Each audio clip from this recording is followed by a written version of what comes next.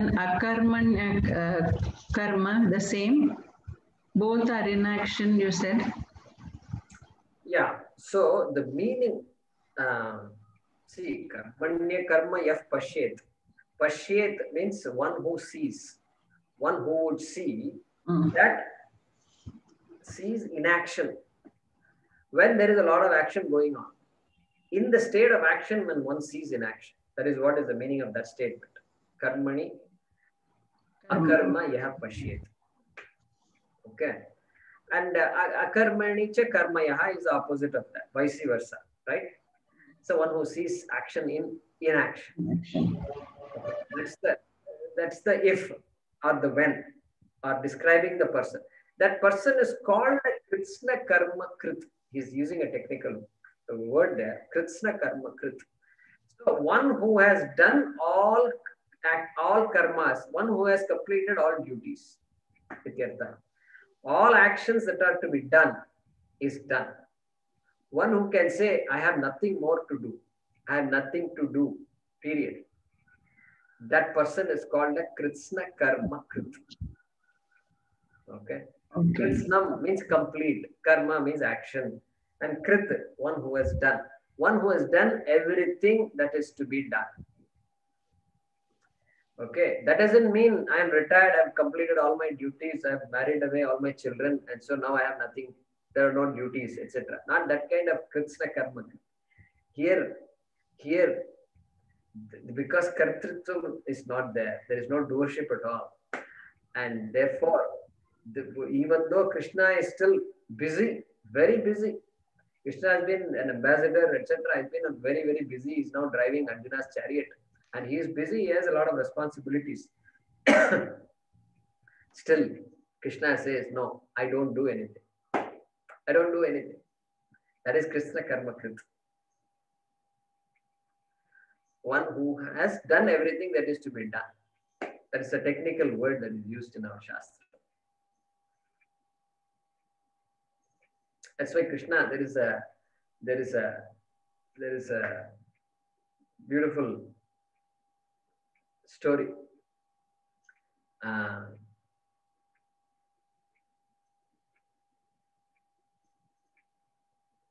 I'm trying to remember. I'm not getting it now. I'll tell it in the next class. It's about Krishna. okay. So does that help? Uh, so that, we'll understand that concept further as we discuss this shloka and next few shlokas. Is that basically one who does not have need for doership?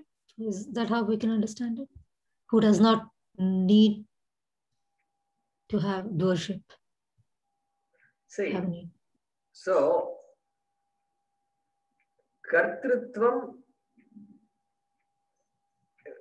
is there. Okay, we'll talk about it in the next class. So need for doership. That's an interesting question. Person does not have any need for doership. Hmm. So no, that is not what is being said here. The nature of Atma is understood. And therefore, there is nothing more to be done means there is nothing. What are the four things, four purusharthas for a, of a human being? Dharma, Artha, Kama, and Moksha. Anything we do will come in one or more of these categories. Correct? Such a thing is not there for the person. Moksha is there. Kartrutvam, akartrutvam is understood. That means moksha. Therefore, there is no more purushartha to gain. And therefore, nothing to be done.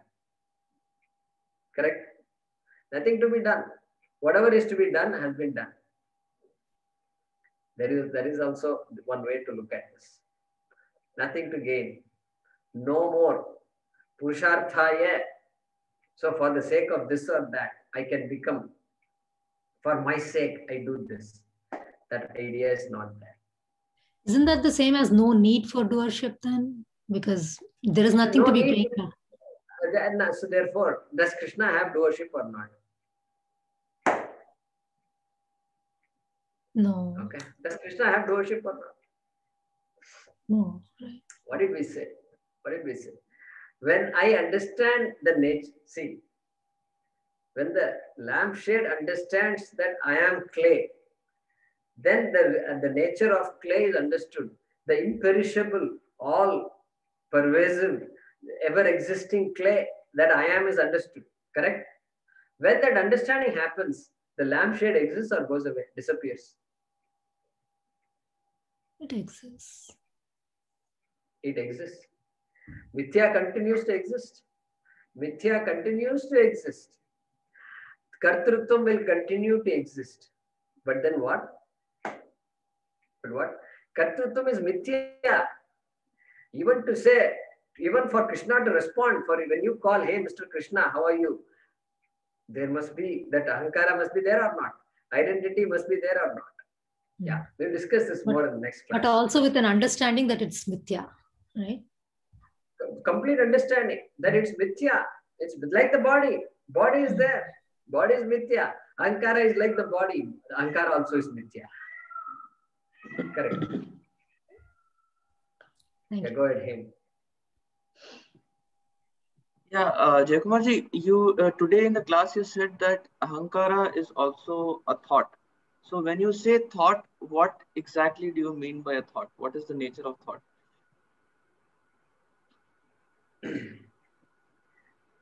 Yeah. Thought. So if I show this to you, you have a thought in your mind. So thought of a book. And if I show you this, you have a thought. Thought of spectacles. All these are thoughts. All these are thoughts. Who are you if I say? Everything you say about you, is it a thought or not? Yeah. Is it a collection of thoughts or not? Right. It's a collection of thoughts. Right. And, and so that identity, finally, that identity which says, I am so and so. Okay. Is that a thought or not? Hmm. Yeah. You have to Yes. think about it. I mean, it's not a, we have never thought like this before. So we have to spend some time on this. It is a thought. It is a thought. My sense of I, my sense of existence, my sense of who I am, my idea of who I am, everything is but a thought or a series of thoughts or a collection of thoughts. But it all centers on that I, that I thought, that I thought is what sustains all this. Karma is done by that I ego. And the karma phalam is also for that same ego. Last time we mentioned this, Hmm. right? So that is why I said ego is also a thought. A thought. And when I wake up, ego is not there in deep sleep. Deep sleep, there is no ego. Okay? There is no ahankara. There is no kartrutva. There is no karta. Karta goes away. Because mithya, it can go and it can come. And it comes. The first thing that comes when, when, when we wake up is the I thought. Before all other thoughts, the I thought comes, the identity comes. You might wake up and say, Oh, the clock, you saw the clock thought has come. You may say here, Hey, Bhagavan Sri Krishna thought has come. All this has come. But first, what comes? I thought. Without telling, without making it explicit, it has already come. Correct?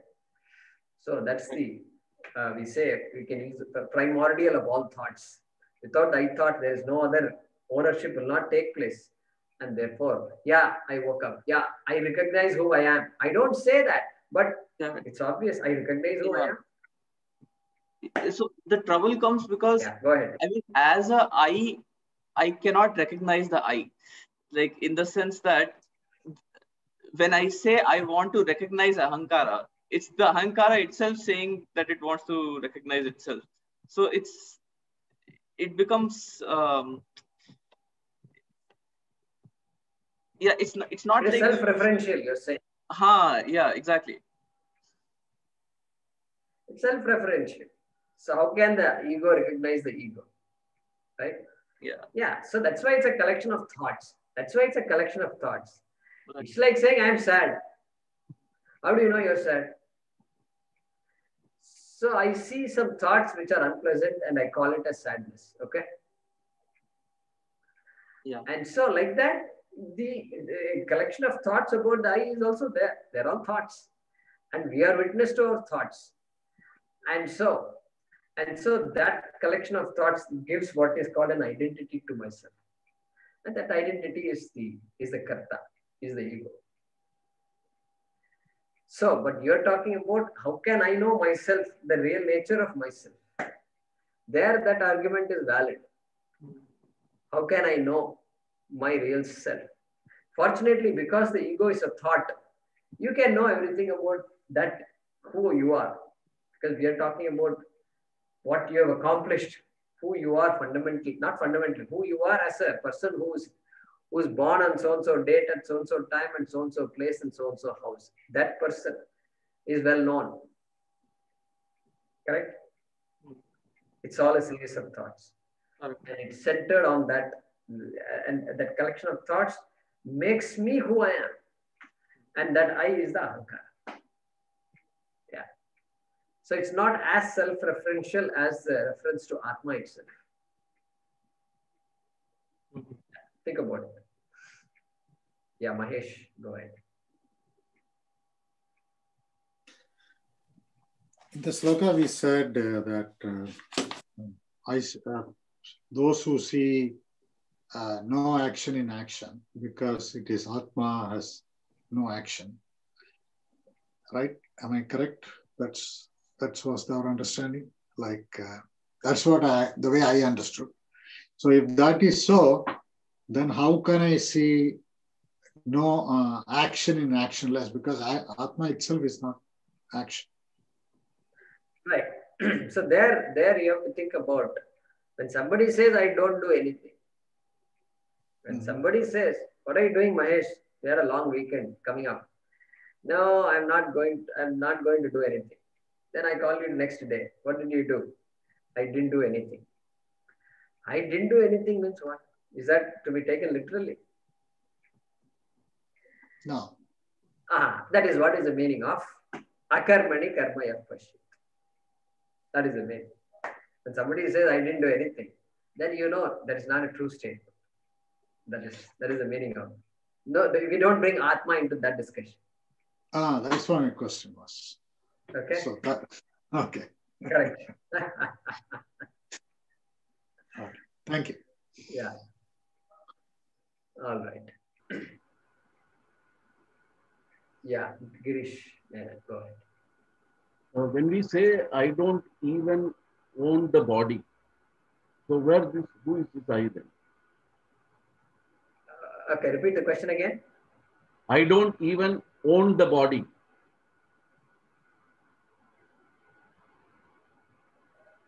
So who is this I there again? Well, so that I is the karta, is the ahankara. Ahankara is smart enough to figure out that this is my body. No, okay. He said my body. Okay, what is your name? My name is. So my name is. So all this ahankara is very clear about. So uh, ahankara can be made to think. Now think: Is this you, uh, is this body? Can you think of your body as not my body? Can we think? We have a mind which can think. And so that same karta only, the same ahankara, who is the karta only, makes that statement. No different to no another entity. We don't need to bring in another entity. It's all the same entity. Who is studying Vedanta? I. I'm studying Vedanta, correct? so who is that I?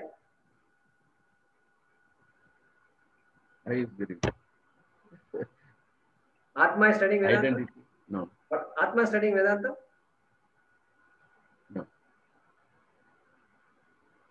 Yeah. So same karta only, same ahankara. Correct. Yeah, Vijay, go ahead.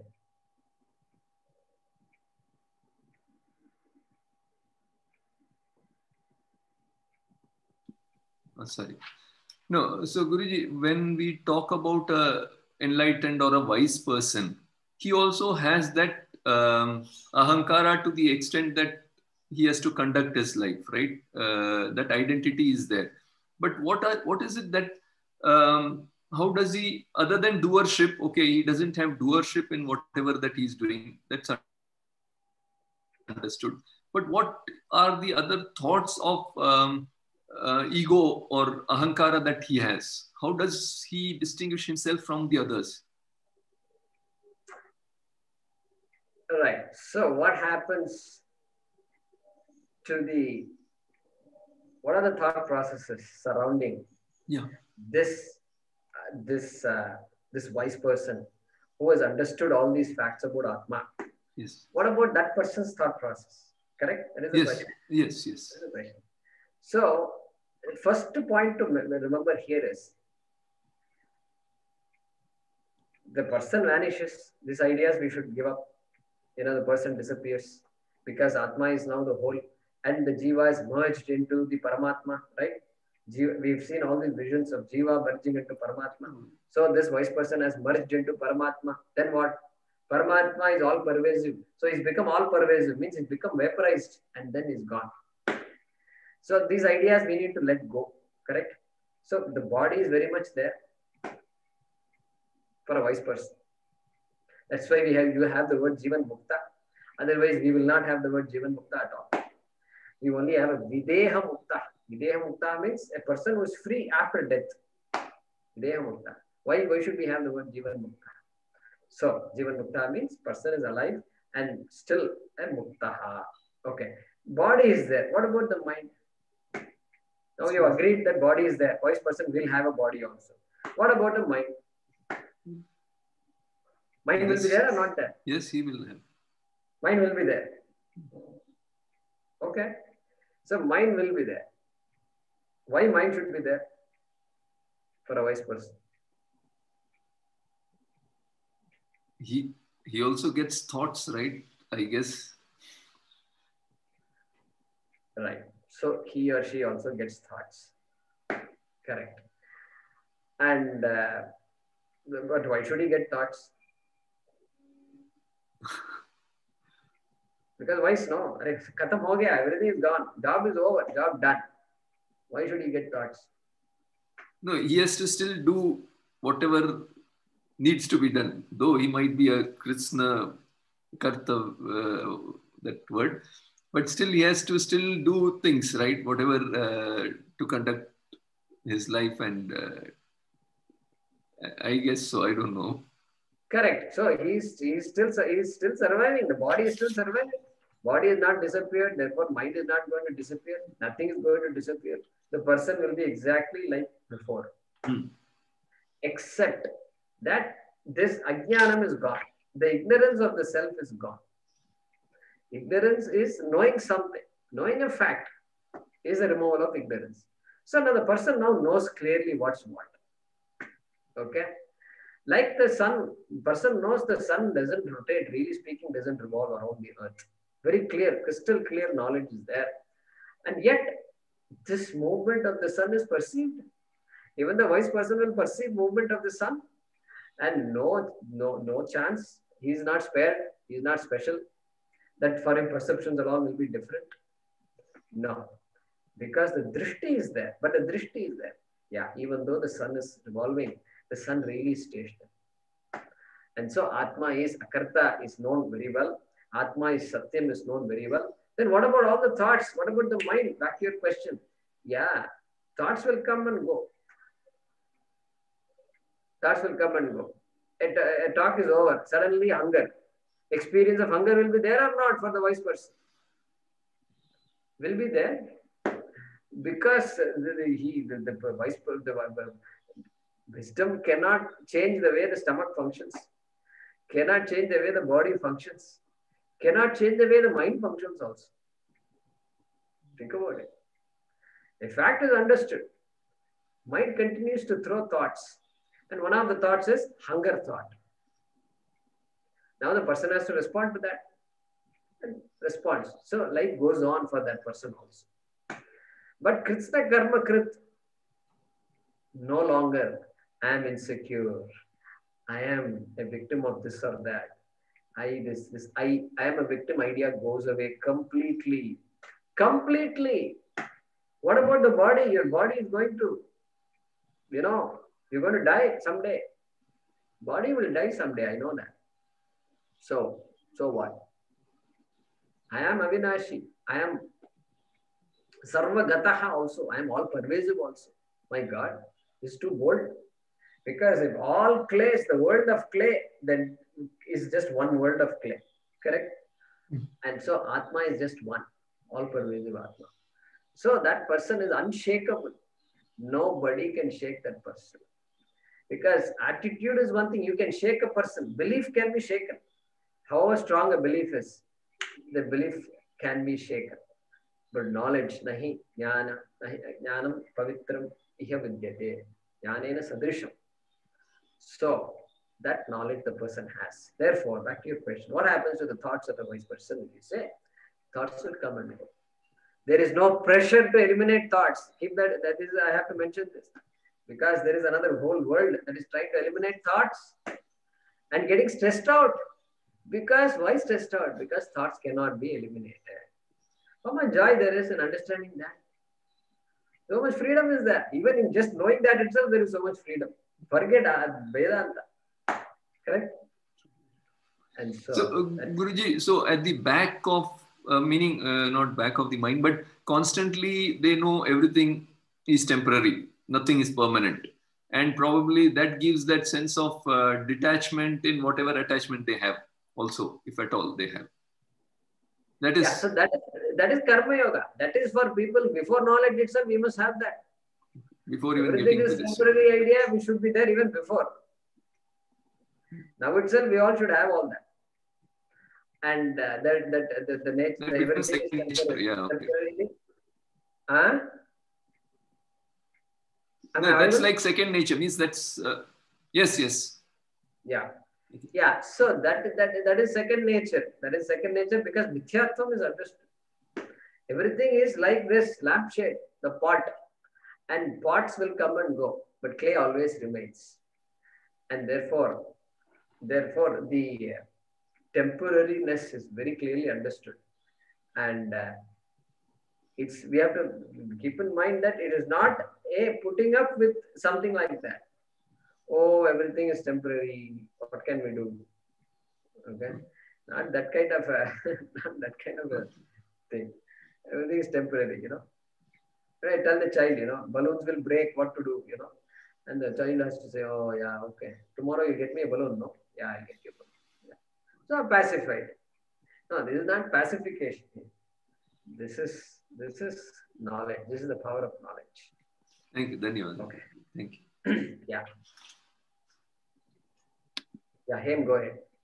Yeah, Jacob, just to uh, slightly clarify, uh, so is it, can I define thought like this?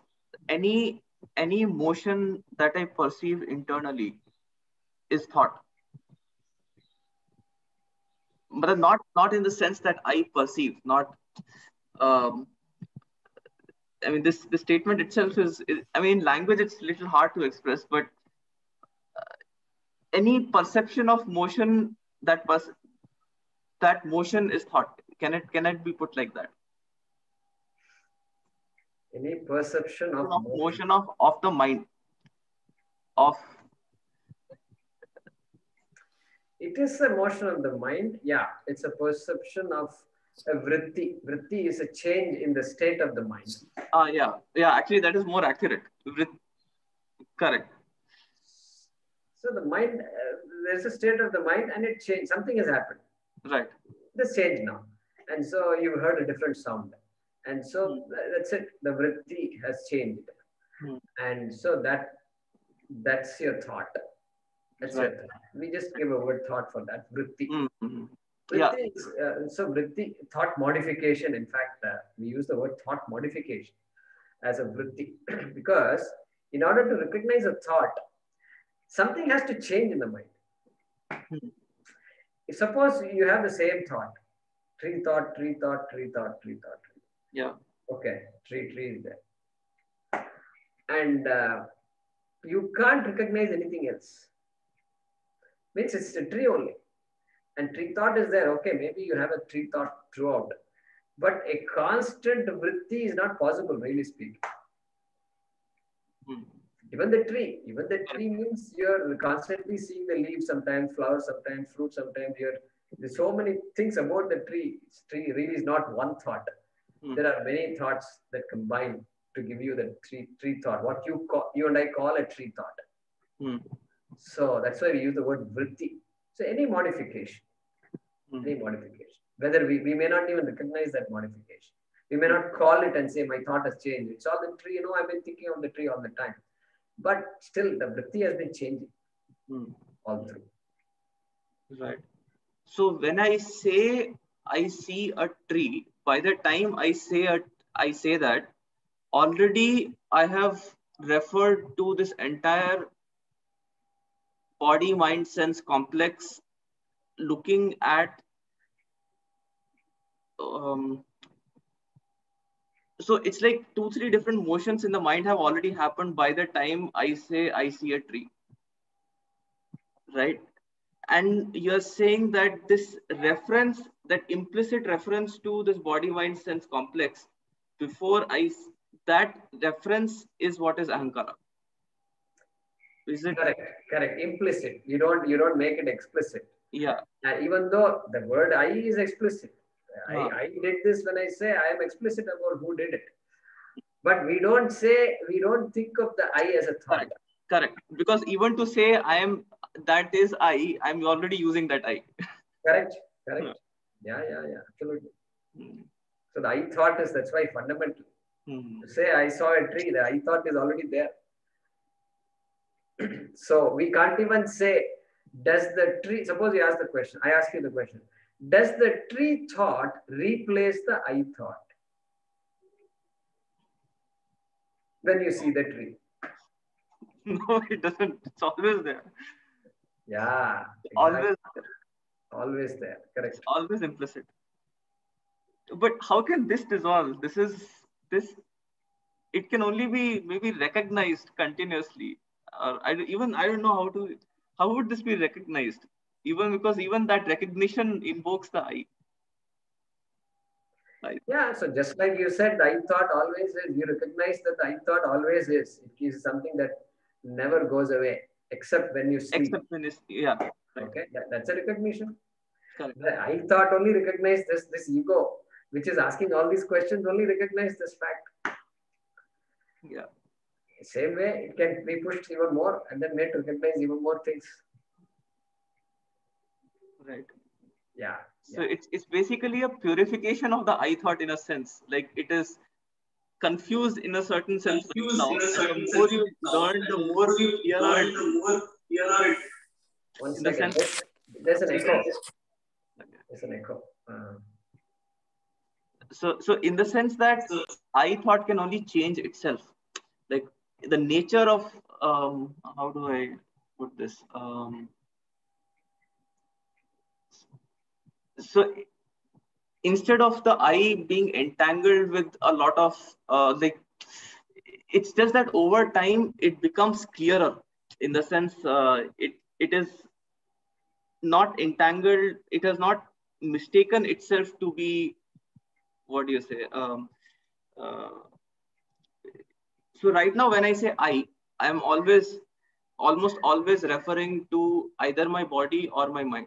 So over time uh, as this knowledge sinks in that that that identity becomes looser and looser. Is that is that correct to say? Identity, correct, with the body and the mind becomes looser and looser, no doubt about that. And uh, until a point where the identity itself is understood as mithya. And I cannot be my identity. Look at that. I cannot be my identity. Just like I cannot be my body. Body is I, but I cannot be my body. I cannot be my mind. I cannot be any thought in my mind. Can I say that? not right now Yeah. So, so that's where we're heading. Hmm. Thought is I, but I am not thought. I mean, of course, if I reason in a certain way, I can. I can immediately say it. But that's like, it's like in a flash and then it goes. Yeah, yeah. So we'll get there. We'll get there. Yeah. Good questions here. Dr. Ramesh, go ahead and unmute yourself. Jai Kumar ji, uh, we are uh, discussing very complex uh, chapter uh, the eye, eye, mind, body complex. My question is, in Jagrata, Sapna, Sushupta, three states what we have there. Where is I? In Sushuptas mainly, Mm, do we have I there? Do we or not?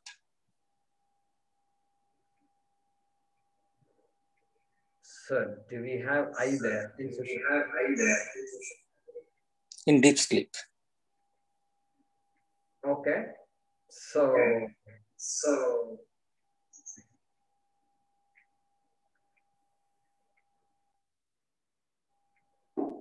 I'm hearing an echo. Are you all hearing an echo? Yes, yes. That is in uh, Ramesh ji's uh, Okay, let me mute Ramesh ji. All right. all right, I muted you, Ramesh ji. All right. So, does I exist in deep sleep? Okay. Now, what, what would be your guess, Ramesh ji? Go ahead and unmute yourself. Okay, I'm sorry. What was my question? That was first question. Now, my question is, Next. what? My question is, what? What would be your guess to the answer? Does I exist in deep sleep or not? In deep sleep or? It does exist. How do you know it exists? How do you know it exists? Because even the deep sleep, certain memories you can recollect. You can come get back when he um, in the deep sleep, even though vividly we can recall. That's one thing. Correct. So, correct. So, so I'm going to mute yourself so there's no echo. So yeah, correct. So the fact that you wake up and say, I had a good sleep. That's enough. That's enough to say I existed. If I did not exist, then there is discontinuity. You can't say, you can't say that uh, that you know you had a good sleep. You can't say that. Therefore, therefore, yeah, your point is also well taken.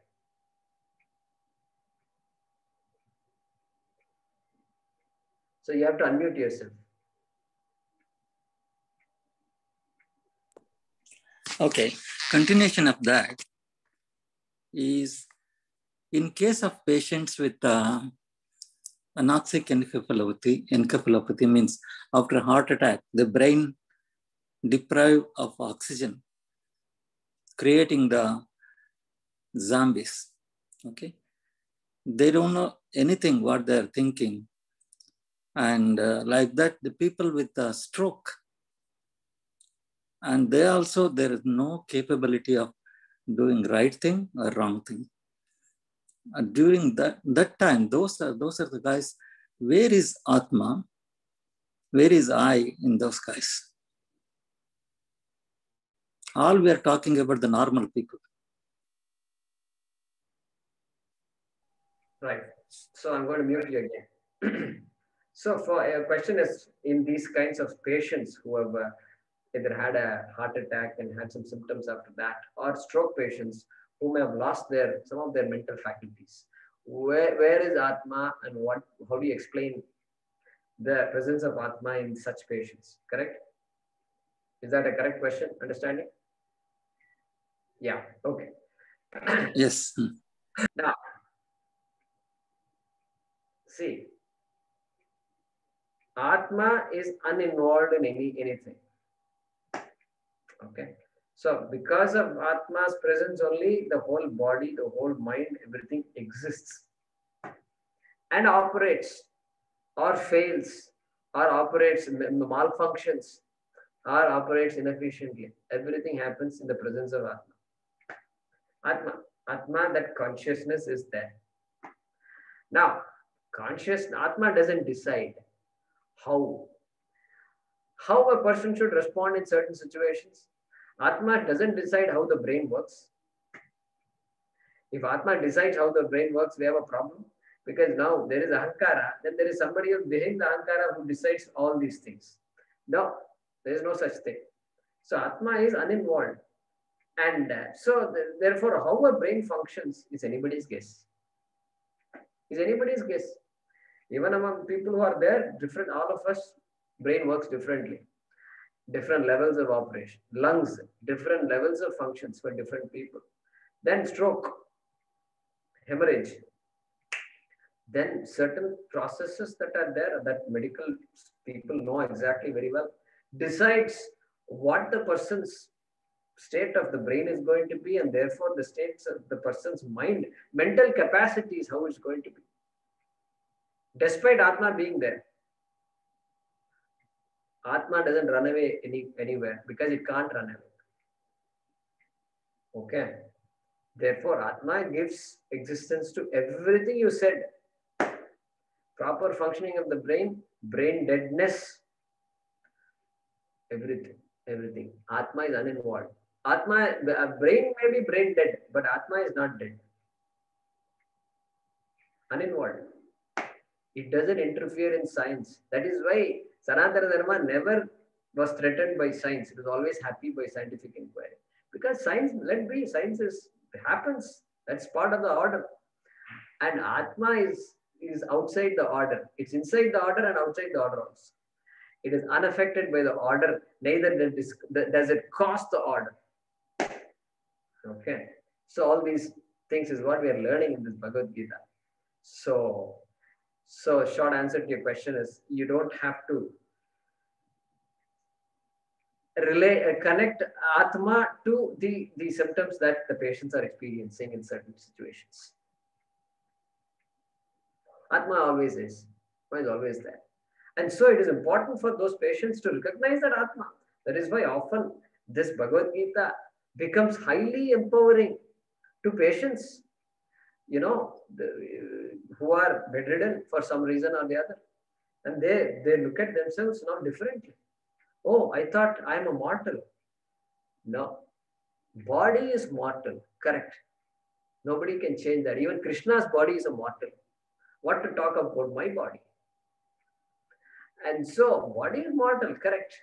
But you are the observer of this body you can't be you can't equate yourself to the body that's a big mistake Drik Drishya Viveka. So it becomes, it's not that difficult at all. It's not difficult at all.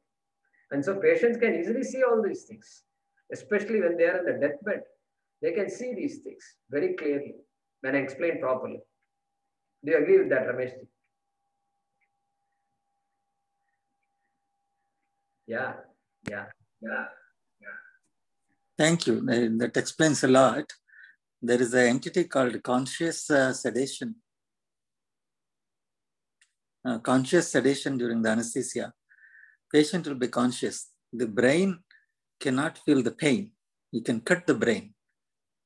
That's why one of the video you posted there, that lady, she kept on repeating Bhagavad Gita while getting the brain surgery. It can be done. I, it, it, some of the things it explains, Atma is completely is untouchable, undestroyable. It is there everywhere, all pervasive. Thank you. That was, uh, I was thinking about this one, how this function, nobody knows how everything automatically functions. Even with the brain dead guys, there's still other functions are functioning pretty good. That is supernatural power. Thank you.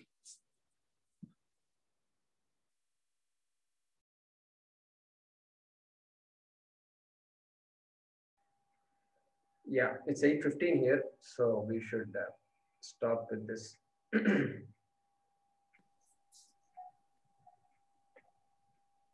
only want to mention uh, my, my understanding, correct me if wrong at a later uh, stage, but I, uh, in the deep sleep state, because I is part of the uh, subtle body. So in the deep sleep state, it is basically the, uh, uh, it is in the seed form where everything else is absent, right? When we get up, uh, that is the time when I feel I am. So uh, the I, I, yeah, that is right. That uh, the blankness is understood when I get up. Yes, I had a deep sleep, uh, but it is not because of I. Uh, that's my understanding. Uh, we can talk about next class. I mean, you can correct me if it is wrong. my understanding is that I only comes up when I get up into you know awakened state, uh, because that's the time when I know that I am. Till that time, it is only just in the uh, seed form. So Yeah, it's in seed form. Fair enough. Karana Sharira, etc. So Yeah. it becomes manifest, and uh, the continuity is understood after waking up. So Jaykumarji, when it, they're talking about I, I as ahankara, the small I is not there, but I as the consciousness, I'm there in deep sleep. But Is I is not equal. Yeah, that's right. Yeah, but I is not consciousness, right? In that case, I Yeah, is not. the. I, ahankara, the small ego, the small self is not there because it's part of mind and mind is not present at that time in deep sleep. Right. So the I that is present is I, the consciousness, Yeah. The self-awareness, or what would we say? That is what is present, which makes you recall that you had a good sleep. Yeah, because I, that's right. But the earlier my question was based on the small I, if it is referred to small I. Uh, That's uh, what I was not- asking Kumarji Yeah. also, like now when I said that for clarification, because I, I kind of was going through the same thought process that you are going, Prasadji. So I just wanted the clarification is what we are thinking is correct or not. Yeah, yeah. So we say that uh, the kartrutvam is not there. Karta also is not there in deep sleep. Okay. And then, so, eh, but Karta is unmanifest. And then it becomes manifest when we wake up. Manifest. Unmanifest means, unmanifest means, Current shift. Yeah. So I, I, in that particular form, it's not there. That is the meaning of unmanifest. And like seed, Sadhji mentioned seed form. The seed form, the entire tree is there in the seed. If somebody says it's hard to believe, how can the tree be there in the seed? Well, the tree is there in the seed. And uh, so, like that, it works here. So when you said that I is present in deep sleep, you're talking about the consciousness there, right? The, Yeah, exactly. Okay. Absolutely. Thank- Atma is present. Correct. thank you. All right, we'll start with that. So we will uh, thinking. I want to also teach uh, this uh, this mantra from the Taittiriya Brahmanam is there. Atrinatva krime hanni. So for this uh, Corona, we can chant this uh, Vedic mantra also. So I'll do that. I'll when, we have time in the next class. I'll teach that for everybody. So we'll pause here today. Om Om Namo Bhagavate Vasudevaya Dhanvantaraye Amrita Kalasahastaya Sarvamaya Vinashanaya Trilokyanathaya ओम नमो भगवते वासुदेवाय, धन्वन्तरये, अमृतकलशहस्ताय, सर्वामय विनाशनाय, त्रैलोक्यनाथाय श्रीमहाविष्णवे नमः। ओम नमो भगवते वासुदेवाय, धन्वन्तरये, अमृतकलशहस्ताय, सर्वामय विनाशनाय, त्रैलोक्यनाथाय श्रीमहाविष्णवे नमः। Thank you, Thanks.